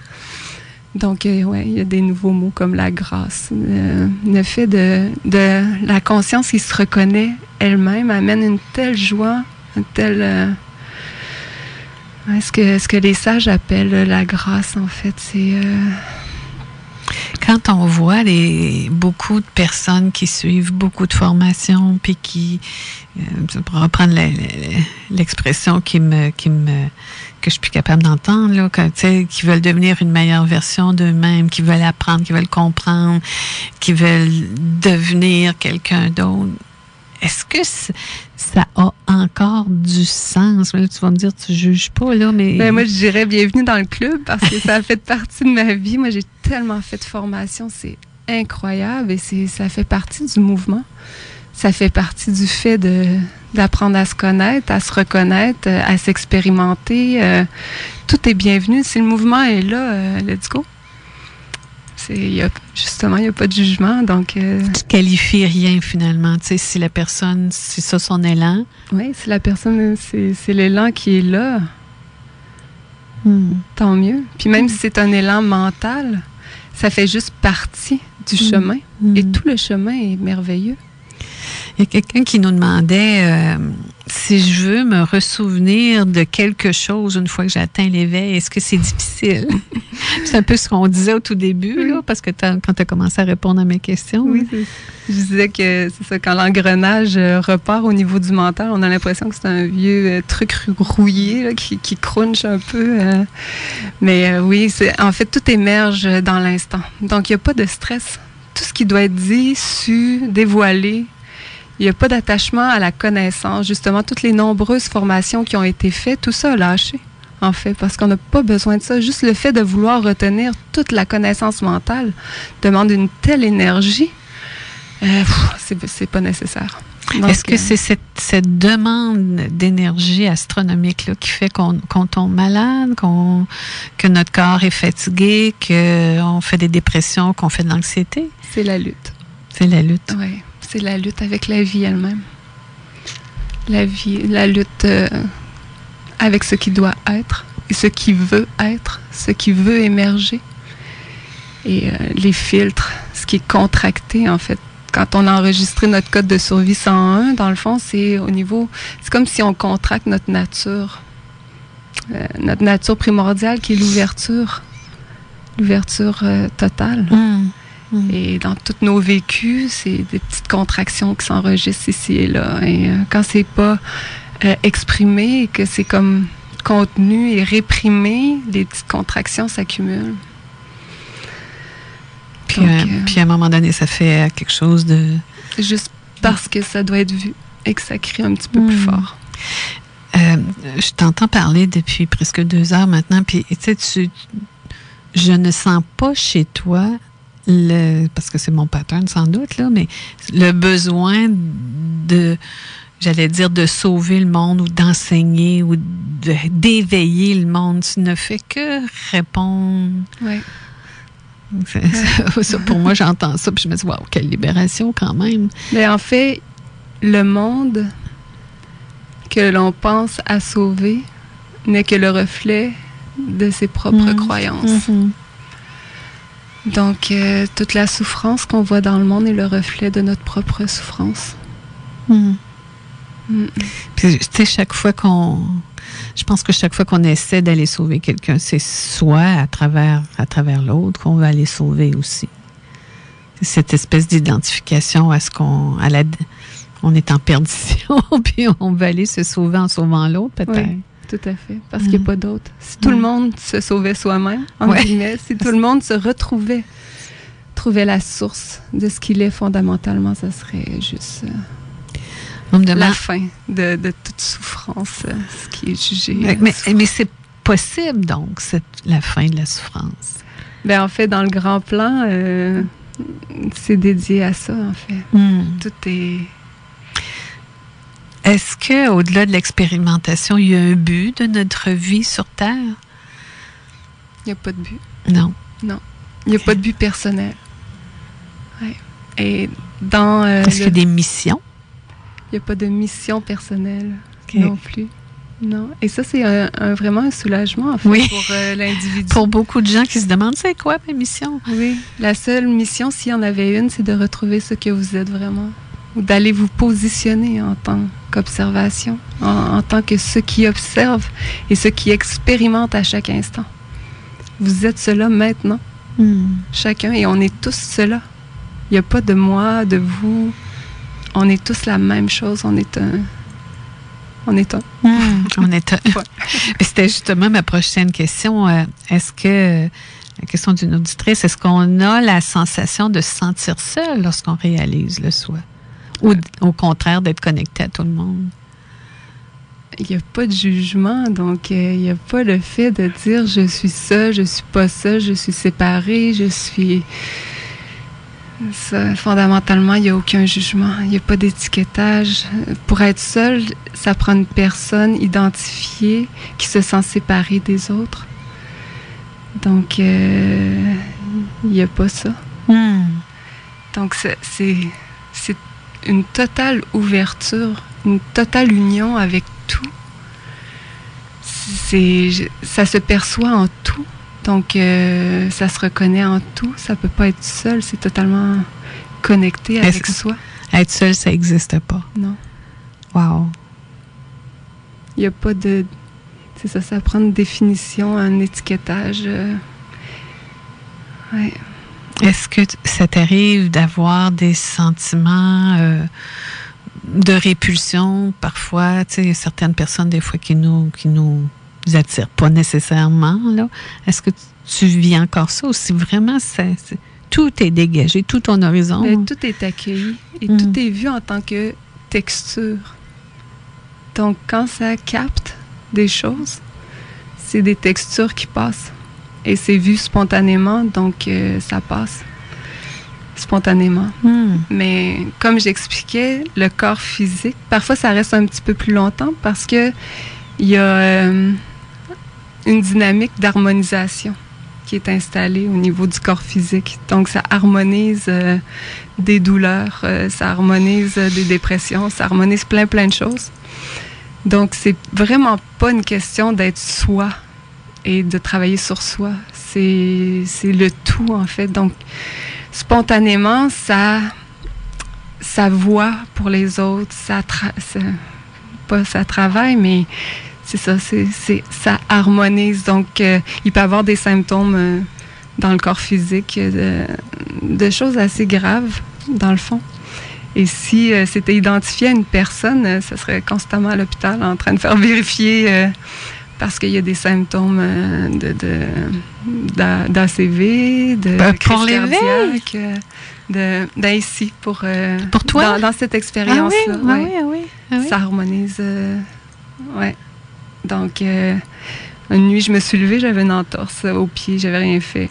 Hein? Et ouais, mais en fait, ça dure, euh, ça a duré deux jours, puis c'est disparu comme c'est venu. Ça, ça part comme ça, ça vient. Donc, si vous avez des symptômes physiques qui arrivent soudainement quand vous entrez dans un endroit public, euh, ça vous appartient pas. Vous êtes en train d'harmoniser, puisqu'on est un. Et plus on est, on harmonise avec les, dégagé. avec les autres entités? plus on est dégagé au niveau euh, des contractions, en fait, plus c'est libre, plus ça accueille l'autre. Il n'y a, pas d'autre, mais quand ça s'accueille soi-même, dans le fond, c'est juste que c'est vu comme on, on disait quand on accueille tout, tout, tout pour soi. En fait, après l'éveil, on accueille tout, tout, tout pour soi aussi, Mm. mais S majuscule, O majuscule, I majuscule, Hmm. pour soi. Il y a, il y a- il y a- si je pouvais mettre une première étape, parce que mon cerveau tente de, de rationaliser tout ça, je pense qu'être dans l'accueil déjà de ce qui se vit, ça peut être déjà une première étape assez intéressante. Vraiment, oui. Il y a, pour moi, il y a deux clés assez importantes, en fait. Euh, mais je parle à partir de l'expérience qui a été vécue ici. C'est la première étape, la désidentification des pensées, des sensations et de l'histoire. Mais une autre clé importante, c'est d'accueillir tout, tout, tout, puisque vous êtes la conscience maintenant qui s'expérimente à travers toutes les expériences et dans le non-jugement de ce qui est vécu. Est-ce qu'on peut dire j'ai choisi ça en tant que conscience?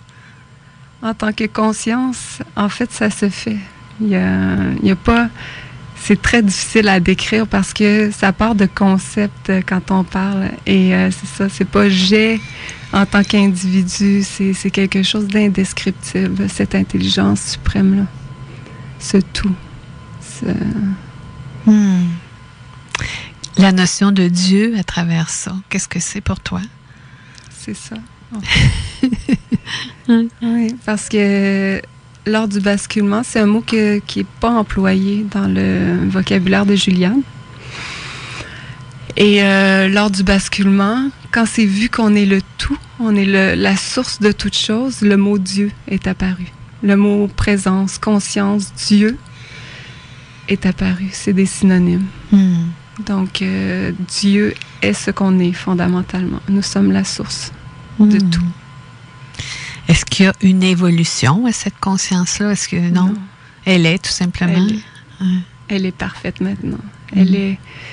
Elle est indescriptible. C'est quelque chose de neutre, en fait. Et ça aussi, ça peut déranger le mental, justement, parce que c'est présent maintenant, ça ne vous a jamais quitté, ça ne nous a jamais quitté. Ça, c'est important, paraît, ça. ça. Ça paraît tellement banal, en fait, et tellement plat pour le mental qui l'occulte totalement.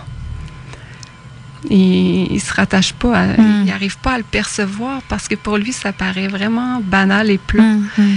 Mais dans cette platitude-là, entre guillemets, dans ce, ce neutre-là, toutes les reliefs et les textures de la vie peuvent être goûtées hein, à 2000% Wow!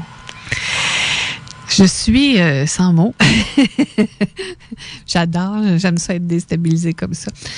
Euh, on va à la pause, on va revenir avec euh, le mot de la fin et quelques dernières questions. Yeah, Hey yo, vous DJ Frankie Town. Yeah, Québec.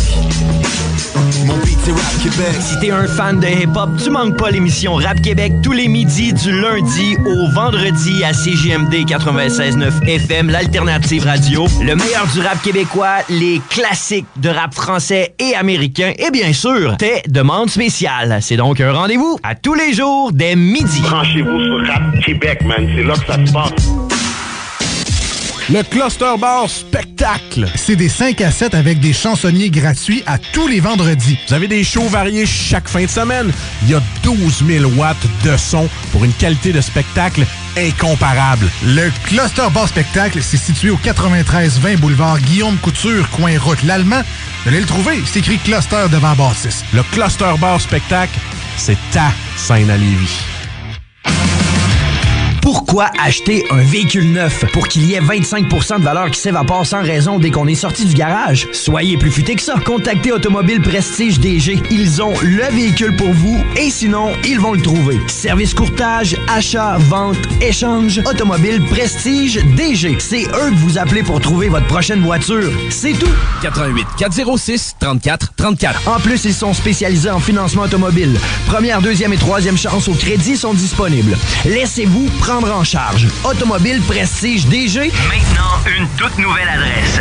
6006 Boulevard Sainte-Anne à Lange-Gardien.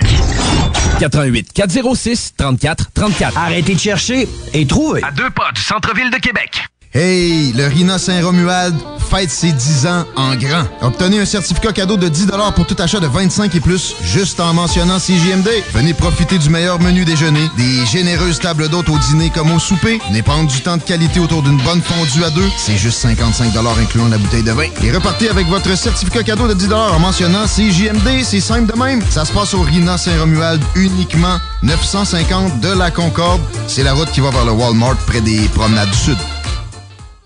Ta voiture blanche est devenue brune. Ses roues sont remplies de calcium.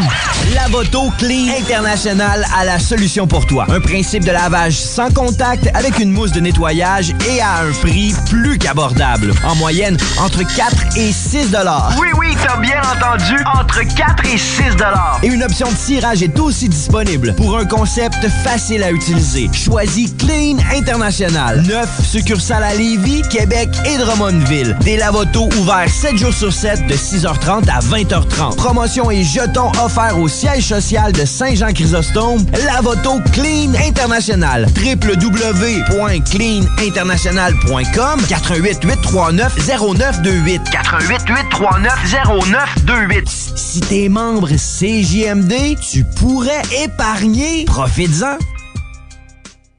Salut, c'est Tiggy. Je veux vous parler de la ressourcerie de Lévis parce que c'est vraiment mon magasin. Ça me tente pas de payer des chemises 100 pièces moi dans la vie. Pas plus que des jeans. En fait, j'aime ça acheter usagé. Ça me fait sentir intelligent. Puis j'économise pas à peu près pour le linge, la peinture, les meubles, la déco, l'équipement sportif, des outils de cuisine, même de la bouffe. Et j'en passe en masse. Il faut voir d'abord ce qu'a à offrir la ressourcerie. 24 rue Charles-Acadieux. C'est pas juste Tiggy qui le dit, c'est la logique même.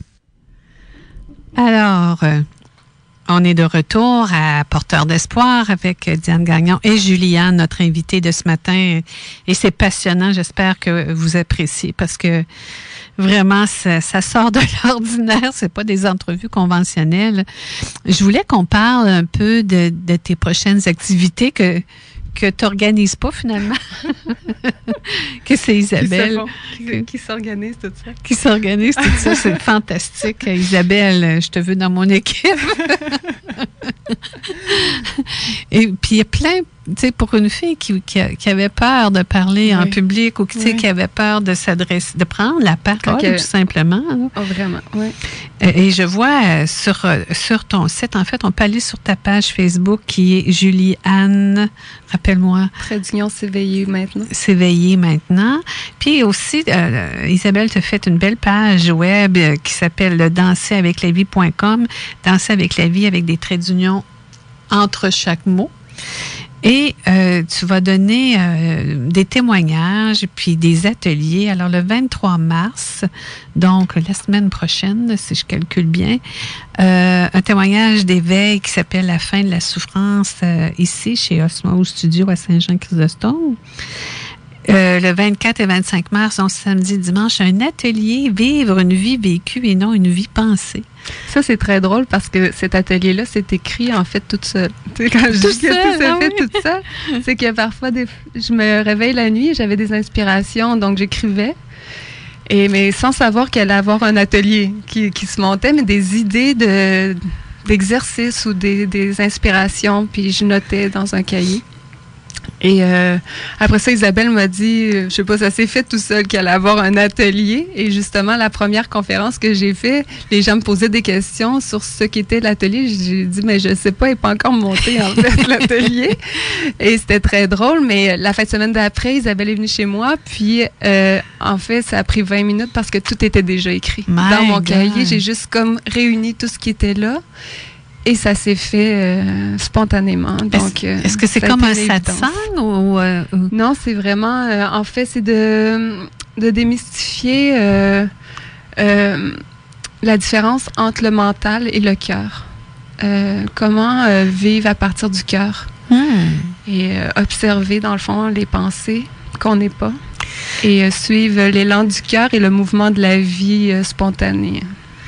Alors, on peut réserver par PayPal et aussi euh, en écrivant à info commercial merci la vie.com pour plus euh, d'informations. Mais vous pouvez aussi euh, aller sur la page Facebook et le site web de Juliane. Le 27 avril, ce sera à Vieux, au Vieux-Longueuil. Alors, tu donnes un autre témoignage d'éveil le 29 et 30, le- l'atelier aussi là-bas. Et euh, tu reviens ah, à la journée de ma fête, le 25 mai, donner un témoignage ici. Je vais peut-être me faire ça comme cadeau de fête, hein, pourquoi pas. 26-27, tu refais l'atelier. Puis après, je pense, euh, euh, tu vas à Bordeaux au mois de juin. Oui, exactement. Wow. Oui. Vous allez donner l'atelier et la- la- le témoignage aussi. Puis tu disais que le Mexique, c'est à l'automne. On dirait bien. C'est- C'est dans l'air. Est-ce que. euh, Qu'est-ce qu'on peut souhaiter à, à quelqu'un comme toi? Rien? Vraiment rien. Tout est parfait, en fait. Oui. Ouais. Est-ce que, euh, je ne veux pas être indiscrète, est-ce que c'est pour ton conjoint, ça fait quoi de dealer maintenant avec quelqu'un qui n'a plus de besoin, qui n'a plus d'attente, qui n'a plus de réaction, qui n'a plus de. Mais mon conjoint est dans une ouverture aussi spontanée. Il a toujours été dans l'accueil de la vie euh, spontanément. Donc, il n'y a pas beaucoup de lutte. Il y a plus de la curiosité. C'était très drôle aussi quand Gérald et Pierre sont venus à la maison parce que lui, il était là. Donc, il a vécu ça. Puis, euh, Mon Dieu, ça devait être. ah, c'était vraiment très Oui. drôle parce qu'au lieu de dire euh, les éveillés, il disait des réveillés. puis, euh, mais c'était- vraiment juste spontanément. C'était vraiment très drôle. Mais c'est ça, il est dans l'accueil, donc euh, il pose plus des questions. Puis, euh, ouais, pour lui aussi, ça s'ouvre. Puis, Mm. ouais, tout est harmonieux, en fait. Hmm. Wow. Est-ce que pour toi, c'est. Dirais-tu que. Ben, on dit, on appelle ça la réalisation de, de soi. Est-ce que tu dirais que pour toi, tout est accompli? Ben, c'est tout des termes. En fait, c'est. euh, Il n'y a pas de moi qui a accompli quelque chose. En fait, c'est ça la réalisation. C'est Mm. vraiment le fait que tout lâche. Tout attachement à une personne, tout euh, conditionnement, toute peur. Donc, euh, c'est que la vie qui se vit elle-même. Hmm. Donc, qu'il fasse froid, qu'il fasse tempête, qu'il fasse beau, euh, que les gens autour de toi soient râleurs ou de bonne humeur, ça ça n'a pas d'impact sur ton état de paix. Aucun impact. Ah, wow. Tu peux me, me crier dessus si tu veux. Ça va vraiment rire intérieurement. Pour vrai? C'est- ça Ah rit ouais? toujours intérieurement. C'est vrai? On dirait que c'est oui, c'est toujours en train de rire en permanence. C'est rigolo. Ouais, Wow. Parce que c'est ça. C'est comme si ça observe un film d'humour en permanence. C'est un peu ça aussi, hein, quand on disait que la vie a le sens de l'humour, puis on, on vit un peu dans, dans un film d'humour aussi. hein. Et le temps, euh, le temps observé comme il faut, parce que c'est vraiment une illusion, dans le sens que ça passe comme un clignement d'œil. La première chose qu'on sait, c'est que c'est déjà fini. Mm. Si vous avez quelque chose à l'agenda, la première chose que vous allez savoir, vous y êtes déjà. Ouais, Tout est maintenant. ouais. Et ça se passe, la vie en fait se déguste à chaque maintenant, dans toutes les sensations, les saveurs que ça a. Mm. Et c'est ça. Donc, euh, Quel merveilleux mot de la fin. je vous souhaite euh, à tous un bon clignement d'œil. Oui. Juliane, merci infiniment. C'était euh, du bonbon, cette, émission, cette rencontre-là avec toi. C'est la première fois qu'on avait le plaisir de, discuter ensemble. On s'était croisés lorsque Gérald et Pierre sont venus la semaine dernière, mais on se connaissait pas. Et euh, j'ai un grand, grand coup de cœur. Je trouve ça fantastique. Merci de ta générosité, de ta patience. Puis t'es super bonne. On dirait que tu as fait ça toute ta vie, parler au micro. Alors... euh, Merci à toi, Diane, infiniment. Alors, chers auditeurs, euh, on se laisse là-dessus. La semaine prochaine, nous recevrons euh, le docteur Sylvain Guimont pour euh, discuter de toutes sortes de choses reliées à la santé et reliées aussi à la psychologie. Alors, je vous embrasse. Je vous souhaite une bonne semaine. À la prochaine.